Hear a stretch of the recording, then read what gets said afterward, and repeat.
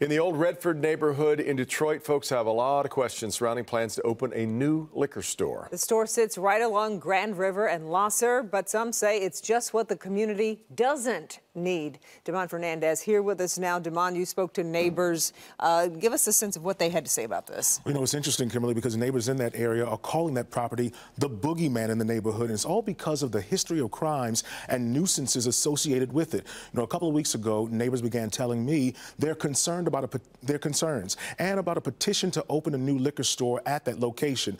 In fact, the city's holding a hearing about it tomorrow. It's this gray wash building at the corner of Grand River Avenue and Lahser Road that's the hot topic at the center of a petition circulating right now. Old Redford does not want another liquor store, that petition says.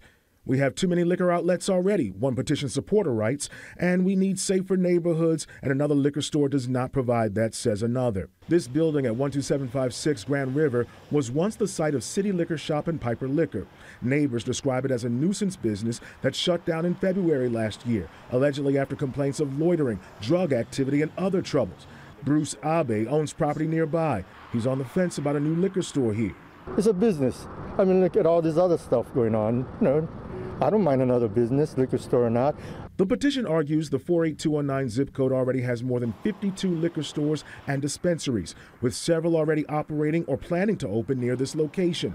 Detroit City Council President Pro Tem James Tate says neighbors have been talking to him about their concerns. Residents are, and business owners are frustrated or have been frustrated over the years by this business, the behavior, um, and the, the flat out disrespect that they've provided. There have been shootings, stabbings, fightings, uh, and, and very aggressive behavior uh, from their patrons. But this property has new ownership.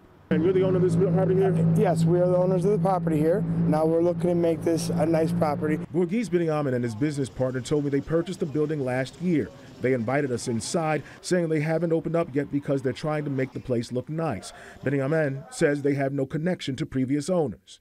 Whatever shady things they had going on, that will not be happening here. We, have, we will have nobody standing around. We're going to have a security guard for the purpose of people not standing in the store doing whatever it is that they do. While hundreds of people have already signed the petition, the property owners say they don't want trouble. They want to be good neighbors.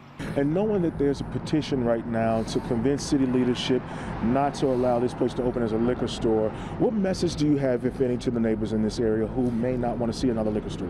Um, the only message I could tell them is you guys are going to have a great environment to come in, a safe environment to come into where you don't have to worry about nothing, and, you know, you go from there.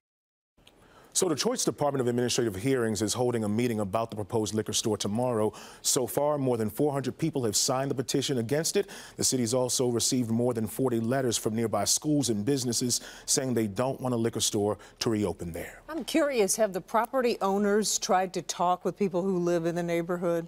So, Kimberly, that's a pretty significant question. Yeah. And what the neighbors are telling me is that they have not. Uh, the neighbors told me that they want to make it, you know, uh, clear that they're not pro or anti-business opening. They're just opposed to a liquor store mm -hmm. in that location, an area that's already working on positive redevelopment in that area. They're talking about housing, other businesses.